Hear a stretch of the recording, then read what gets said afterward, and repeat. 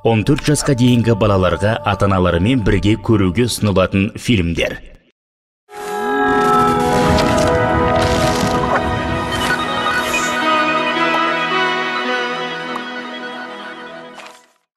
ассалаумағалейкум эфирде сүбелі сөз бағдарламасы сіздермен бірге мұхтар ниязов қаратаудың басынан көш келеді көшкен сайын бір тайлақ бос келеді қарындастан айырылған жаман екен қара көзден мөлдіреп жас келеді кешегі қаралы жылдардағы қанды тарихымызды қаламына арқау еткен жазушылардың қайсысын білеміз қаншалықты танимыз? Олардың жазған шығармаларының тереңіне үңіле алдық па? Жалпы әлемдік биіктен қарағанда қазіргі қазақ әдебиеті қай деңгейде? Көркем шығарма мен тарихи шындықтың бір біріне қарым қатынасы қандай? Біз бүгін осы және басқа да сұрақтарды алдағы бағдарлама барысында бірге талқылайтын боламыз. Ендеше таныс болыңыздар. Студиямыздың бүгінгі қонағы жазушы қазақстан жазушылар одағының евразия жазушылар одағының мүшесі жәди шәкенұлы. Жәке студиямызға қош келдіңіз. Рахмет. Жәди аға жалпы сұрағымыздың басын мына атажұрттың қадірі отанның қадірі туралы бастайық. Себебі ә, арқада қышылы болса арқа рауып несі бар дегендей уақытындағы уақыттың зобалаңымен кешегі кер замандардың зобалаңымен атажұрттан ә, қандастарымыздың кетуі бір трагедия болса сол атажұртқа сағынып оралуының өзі бір үлкен ә, көңіл тоқтатын көріністерге толы. Осы атажұрт туралы отан туралы тебіреністермен бастасақ әңгімемізді. Бұл әр қазаққа өзінің туған топырағы туған төбесінің қымбат болғаны сияқты. Осы қазақстан топырағында туып өскен халыққа адамдарға өзіміздің қандас аға бауырларымызға осы топырақтың ыстықтығы кереметтей. Ә, бір адамның жүрегінен терең ұялаған болса ал шеттегі осы топырақтан айырылған халықтың қазақтың зарының одан да терең екендігін білуге болады түсінуге болады. Оны мен өз аталарымның басынан өткен уақиғалардан өзімнің айналамдағы өткен адамдардан өз тарихымнан да айта аламын. Ә, мен өзім далып айтатын болсам бір мың тоғыз жүз жиырмасыншы жылдар ішіндегі мынау ә, байкулактарды жазалайтын голощекиндік қазақстандағы саясат кезінде осы топырақтан біз шығыс қазақстаннан арғы бет ауып кеткенбіз. Сонда көзім көрген тарих сол жердегі сол елге барғаннан кейінгі осы топырақта туып өскен қарияларымыз күбір сыбырында екінің бірінде шіркін ай менің зайсаным ай шіркін ай менің қазақстаным ай деп көз жасын көлдетіп сыбырлап көбілеп отырған талай естіген едік. Және сол күбір сыбырменен сақалынан жас сулап отырып көз жұмған талай қарияны көріп едік. Содан біз осы топырақтың қаншалық ыстық екендігін бала күнімізде жүрегімізге ұялатып қазақ топырағына шіркін қай күндері табанымыз тияды екен деген бала қиялмен жүрген кезде тәуелсіздік алып 1991 жылы сол халқымыздың басына алланың берген шексіз байлығының арқасында өз топырағымызға оралу бақыты бізге де бұйырды. Ал осы топыраққа біз өзіміз ғана оралып көргеніміз жоқ. Өзіміздің айналамызда қаншама кісілер болды. Мысалы үшін қалип алтай деген атамыздың тарихын алып айтайық мұстапа өзтүріктің тарихын алып айтайық. Солардың өз басынан өткен тарихтар да солардың ұлтшылдығы солардың осы елге жерге деген махаббаты ұшақтан жерге түсе қалып жерді құшақтап алып жылауға бірінші жерді искелеп тұрып аллаға екі рағат намаз оқып көз жасын көлдетуі осының барлығы осы елге жерге деген шексіз махаббаттың шеттегі жүрген ағайындардың жүрегіндегі қаншалық бір ыстық махаббатты қозғағандығын тереңдей білуге болады. Мен өзім айтып отырмын әкелерім шығыс қазақстанда зайсанда туды деп мен арғы бет алтайдың бауырында тусам. Ә, кейін балаларым осы топырақта туды немерем түркияда туды. Сондықтан мен өзім бір шағын отбасымын десе менің басымдағы тарихтың өзі осы қазақтың жаңағы шеттегі шашылып қалған көз жасының бейнесі сияқты қаншама күндерді ауыр күндерді бастан кешіргендігінің тәуелсіздікті сіздер қарапайым қазақтан гөрі тереңірек сезіндіңіздер ғой сонда сол уақыттарда? Ә, сол тәуелсіздік алғаш жарияланған кезде Ә, сол тәуелсіздіктің тіпті жарияланбай тұрған кезде смағұл ерубай деген жазушының алыстағы ағайынға ашық деген үлкен мына шалқар газетінде бір мақаласы басылып көне ахмет байтұрсын жазуында сол қытайда қазақтардың қолына тарады ол кезде біз студент едік. Сонда сандығымыздың түбіне сармайдай сақтап түндерде жылап көрісіп жаңа қатты оқитын едік. Сонда тәуелсіздік жарияламай тұрып сол хат біздің қолымызға тиіп еді. Содан іле шала тәуелсіздік жариялаған кездегі шеттегі қазақтың бірінен бірі сүйіншілігін қуанышын айтып сұрамаңыз. Шамалары жеткендер тойлатып шамалары жетпегендер көз жасын көлдетіп жылап аллаға тәуба қылып деген сияқты. Біз сияқты жастар сол кезде шіркін ай енді біз ақыры сол аталарымыз армандаған ата жұртымызға жетеді ау деген жаңағы арманымыздың қоламтасы көселіп ә, осылай ентелейтін бір сезімімізді одан ары өршітіп едік. Сол кездегі қариялардың талайының жылағанын ә, осы топыраққа жетсем деп жеткенін де жетпегенін де көзіміз көрді. Ә, сол тәуелсіздіктің арқасы аллаға тәуба. Мхм. Ә, аға енді қазақ әдебиетінің соңғы бір сүбелі дүниелері жалпы әлемді таңғалдырып осы мұхтар әуезовтің абай жолы шығармасын алсақ та содан бергі қанша дүниелер халықтың назарында келе жатыр. Енді тағы бір біздің үлкен осы тәуелсіздіктен кейін тапқан олжамыз осы шетелдегі қандас бауырларымыздың ә, басқа да салт дәстүрді былай қойып біздің қазақ әдебиетімізге мол бір рухани мұрамен келіп қосылғандығы десек болады. Осы шеттегі қандас бауырларымыздың қазақ әдебиетіне тигізген ықпалы жайында айтып берсеңіз. Шерхан мұртаза ағамыздың бір сөзі бар жаңағы моңғол қазағы қытай қазағы деген қазақ жоқ бір ғана қазақ бар деп. Және қалиқан ысқақұлы ағамыз айтады шетелдегі қазақ әдебиеті деген әдебиет жоқ шетелдегі қазақ әдебиеті дегеніміз қазақ әдебиетінің бір бұтағы немесе бір бұлағы деп жаңағы біздің осы шетелдегі қазақ әдебиетінің қалыптасу дәуірінің түп тамыры сол ежелгі халық әдебиеті ауыз әдебиетінен бастау алса онан кейін абай төңірегінде алаш төңірегінде жалғасып келіп бұл үрдіс бір мың тоғыз жүз елу бес елу алты елу жетінші жылдардағы осы қазақстан менен ә, кеңес одағы менен қытай арасында қарым қатынастардың жақсарған тұсында осы әдебиеттің байланыстары жиілей түсті. 1956 жылы сәбит мұқанов сол арғы топыраққа қазақтар арасында барып қайтты. 1957 жылы ғабит мүсірепов барып қайтты. Яғни үздіксіз байланыс болып жатты иә байланыс болды. Ә, сол тұста жаңағы шинжаңда бүгіндері шұғыла журналы деп аталатын алғашқы журналдың және шинжаңдағы қазақ жазушыларының ә, қоғамының ә, негізін қалап кеткен сол ғабит мүсірепов болатын сол жылдары екі елдің байланысыменен. А содан кейінгі кезеңдерде сол жылдардан басталған көші қон екі арадағы әдебиеттің мәдениеттің алмасуын одан ары тереңдетіп отырды. Жаңағы шетелдегі қазақ әдебиеті деген дәстүрдің қалыптасуына және оның көктеуіне оның осы топыраққа жетуіне қазақ қазанына бір майлы жіліктей болып қосылуына соның үлкен үлесі болды. Жаңағы алашшылдар деп сөзімізде айтып кеткен абайдан кейінгі жалғасқан әдеби дәстүріміздің кейінгі жалғаушылары болған мысалы бір мың тоғыз жүз отыз бірінші жылы шәкәрімға жатылғаннан кейін шәкәрімнің ұлы зият шәкәрім сол топыраққа барды. Кейін бір мың тоғыз жүз отыз сегізінші жылы сол жақта өлді. Сол- зият шәкәрім және райымжан мәрсеков әбдікәрім болыс және оның балалары сияқты көптеген тұлғалардың сол жақта болуы осы елдегі қазақ әдебиетінің сол жерде тамыр жаюына терең ықпал еткен болатын. Ә, соның көш басында абайдың тұрғаны ол айтпаса да түсінікті. Ә, жаңағы шинжаң қазақ әдебиетіндегі ә, жазба әдебиетінің қалыптасуына негізін қалаушылардың бірі ақыт өлімжұл деген үлкен ақын болды. 1891 жылы орыстың николай катанов деген үлкен түркітанушы ғалым сол ақыт шығармашылығы туралы ақыттың деятел деген журналда жарияланған шығармалары туралы алғаш көзқарас пікірін білдіріп мақала жазған болатын. Сол ақыт атамыз айтады бұдан бұрын ақындар өтті талай соның бірі құнанбай баласабай ә, солардай өткір сөзді болмасам да сөзімді мен де айтайын құрай жамай деп. Сол кездегі жаңағы ақыт өлімжұлының абайға еліктеуі ә, кештеу қолға алынса да ә, сол кездегі жазба әдебиетіміз іргетасын абай қалай қаласа алашшылдар солай жеткізсе кейінгі сол топырақта да әдебиеттің көктөгендігі белгілі болды. Ә, тәуелсіздік алғаннан кейін немесе жаңағы алғашқы көш тұсында осы әдебиеттің алмасуы тереңдеді сонымен бүгінде осы топырақта жаңағы қабдеш жұмәділов бастаған мынау несіпбек айтып деген ақын ағаларымыз бастаған үлкен шоғыр осы әдебиетке өзінің үлкен қазынасын алып келді. Сол қазына бүгінгі қазақ әдебиетінің үлкен дариясына бір бұлақ болып құйылып өзіндік тыныс тіршілігіменен ә, әр берді бояу берді. Ә, сондықтан бұл үлкен тақырып. Ә, бұл тақырыпты енді дәл бүгінгі әңгімеде таусалмайтын шығармыз.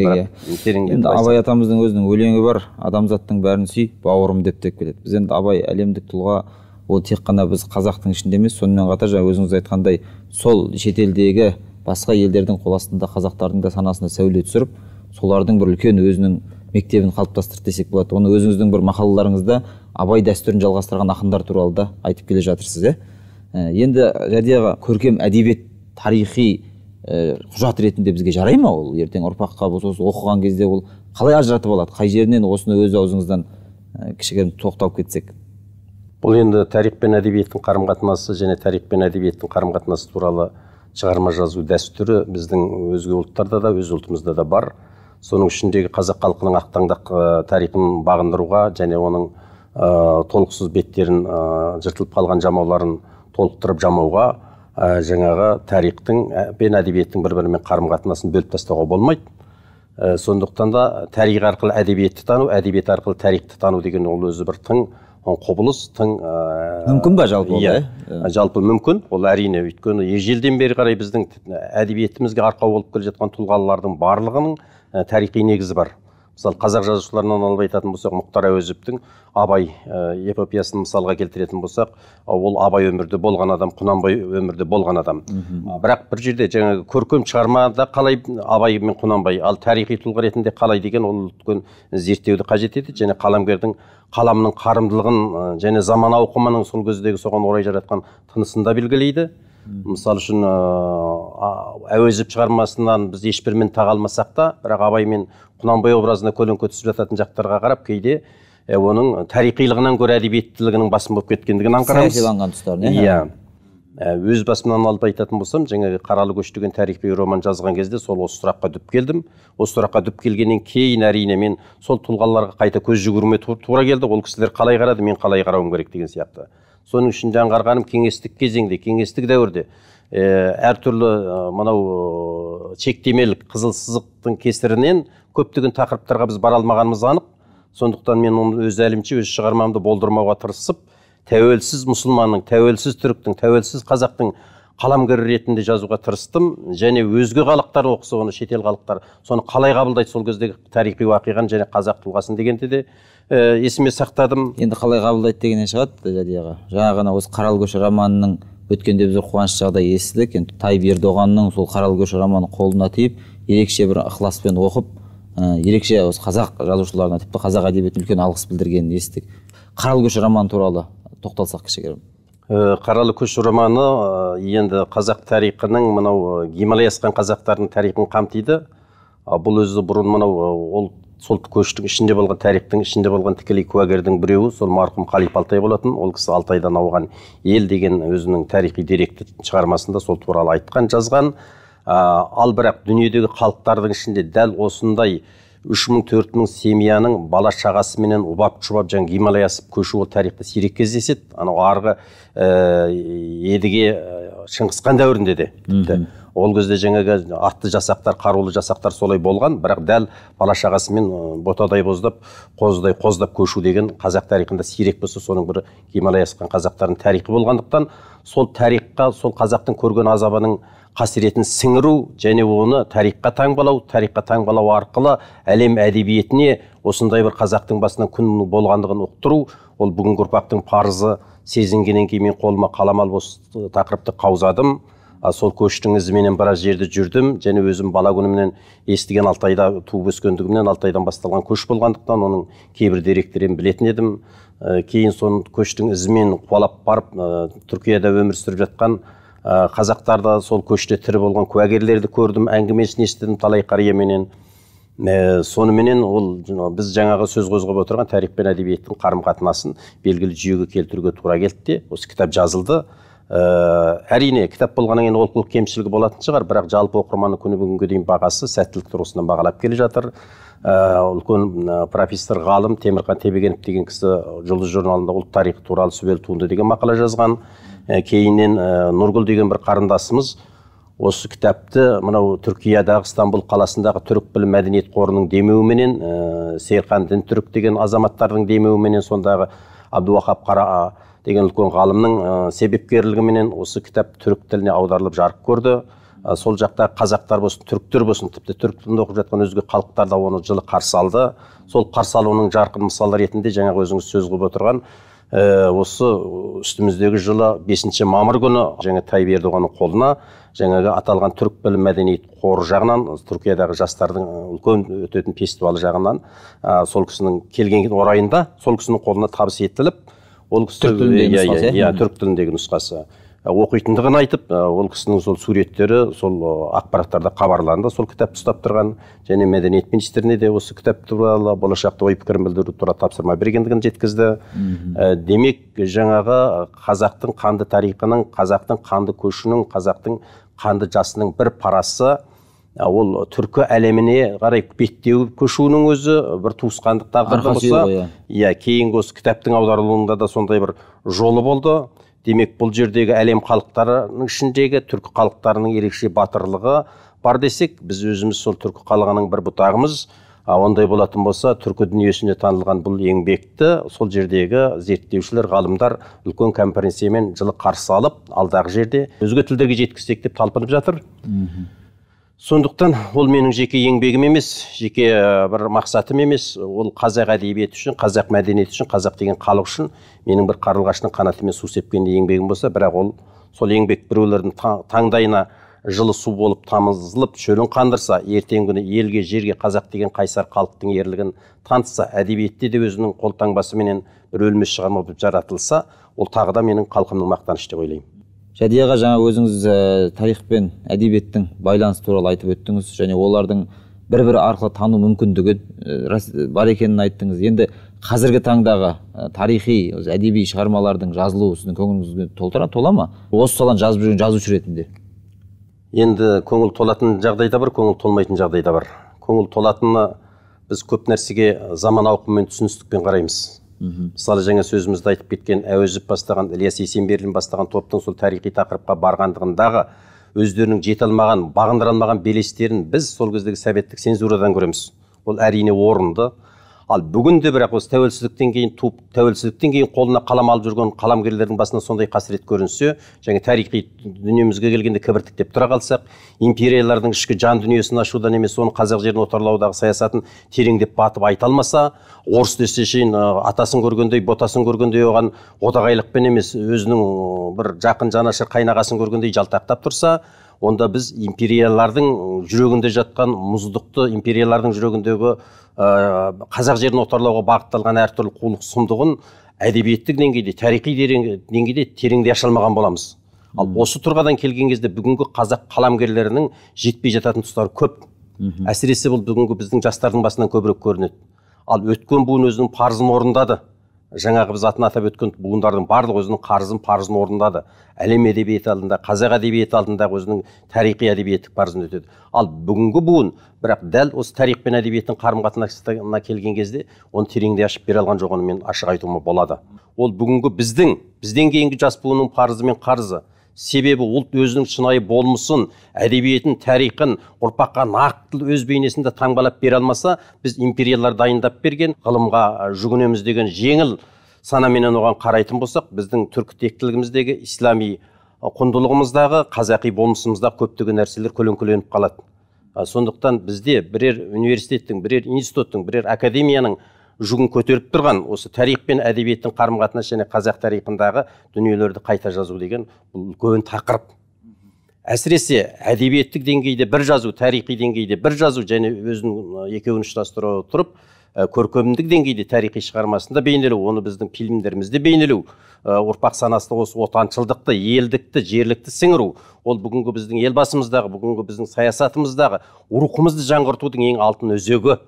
Рухты жаңғыртудың өзі ұлтыңдағы бар барлық асыл қасиетті бүгінгі жаһандану үрдісіне сақтану мақсатында және жаһандану үрдісінің абзал қасиеттерін ала отырып екеуін біріктіре отырып ә, балаңның немереңнің шөберегінің жүрегіне қалтыру болса және оның алтын әріптермен тарихына таңбалау болатын болса ол осы жүрген қаламгерлердің мойнындағы ауыр жүк.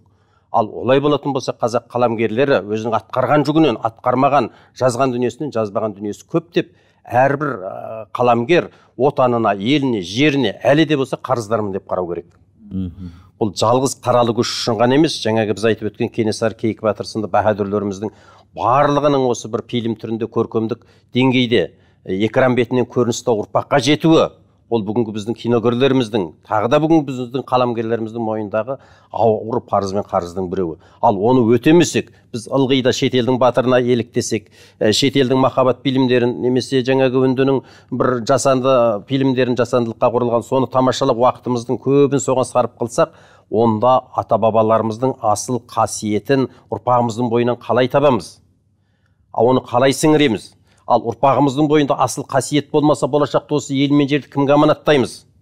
Сондықтан да осы ел мен жердің қарызын өтейтін парызын өтейтін жаңағы өсіп келе жатқан жеткіншек буынға жеткіншек қаракөз қазақтың ұл қыздарына ә, мейлі қаралы көш болсын мейлі басқадағы біздің отаншылдықты ерлікті теңдікті бүгінгі қазақ рухын дәріптейтін шығармаларды экран бейнесінде кино бейнесінде көрсету ол әрбір жүректің түбінде жатқан терең арман. Әди аға біздің студиямызға келіп арнайы уақыт бөліп сұрақтарымызға жан жақты кеңінен жауап берген үшін үлкен алғыс айтамыз. Шығармашылық табыстар тілейміз. Рахмет. Біздің бағдарламамыз бүгін осы жерден тәмам. Ел мен жұрт аман ойымыз орамды сөзіміз сүбелі болсын.